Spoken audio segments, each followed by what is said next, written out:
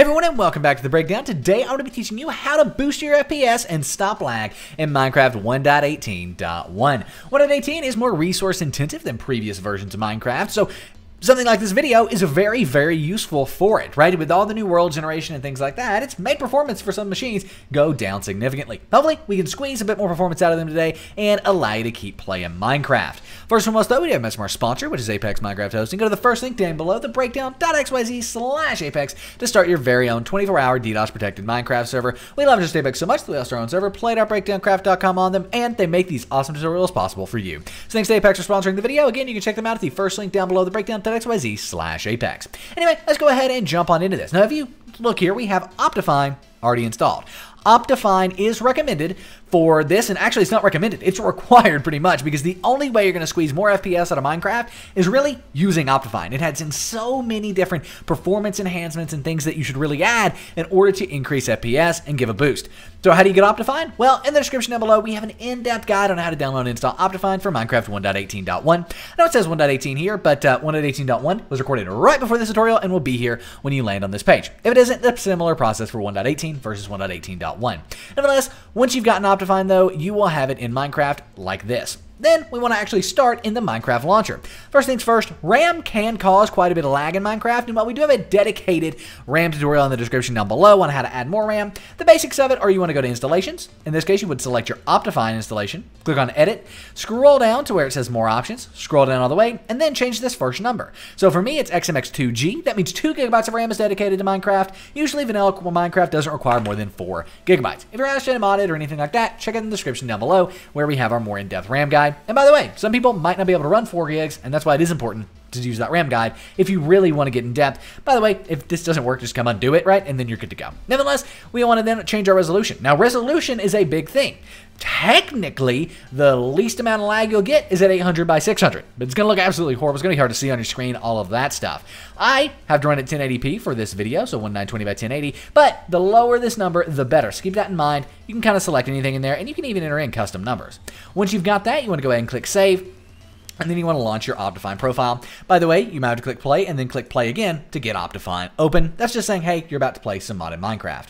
Except, uh, there we go. it wasn't loading. Now it's loading. We're good. So nevertheless, there we go. Optifine is loading up. No reason for you to sit and listen to me talk while we're launching the main menu, so I'll do a quick jump cut. All right, so here we are in the Minecraft main menu. First things first, let's get a baseline for our FPS. I would recommend joining the best Minecraft server in the multiverse, play.breakdowncraft.com, and once you've joined in, go ahead and hit F3 on your keyboard. That is going to show you your FPS in the top left-hand corner. Wait for it. There we go. We hit F3 up here in the top left-hand corner, we can see FPS. Now, I don't know exactly what these numbers mean, and truthfully, I probably should, but what I've always done is gotten the range, right? So the first number, I just write down what that is, and then I write down what the second number is.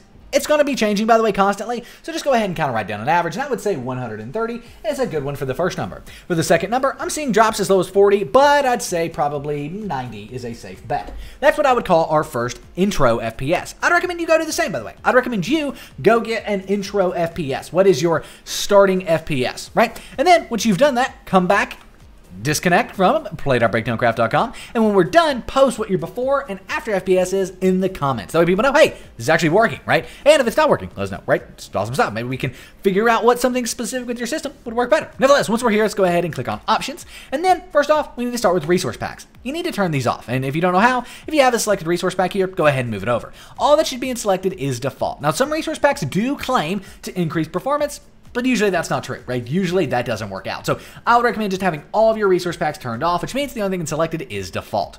Click done, might reload Minecraft, and then click on video settings. And here's where Optifine really begins to shine, right? Optifine is going to be the best way to increase performance because it unlocks so many settings. As a matter of fact, all of these menus right here, all six of these, are not there by default. They unlock so much cool stuff for you to be able to do and for you to be able to increase performance with.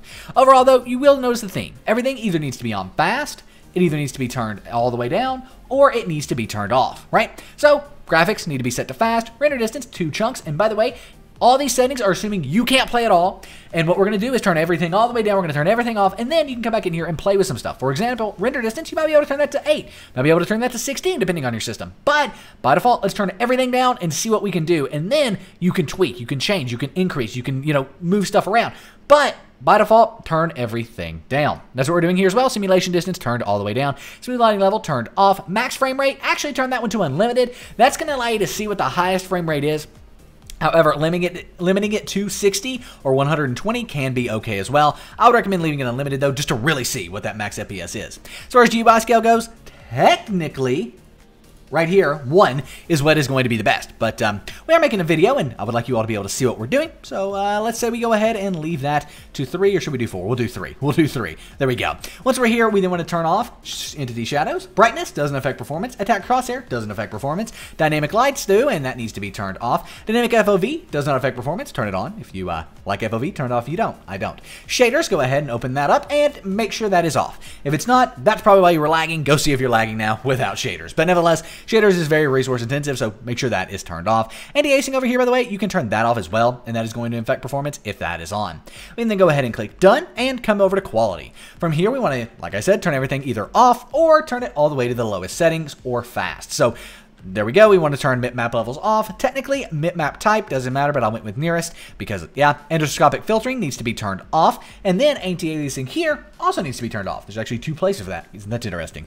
Then we then want to go ahead and turn off emissive textures and basically everything on this page uh, needs to be turned off, I believe. Yeah, this is going to be one where we're literally going down through here and turning absolutely everything off because absolutely everything here is affecting performance except this, right? FOV effects, that's up to you, right?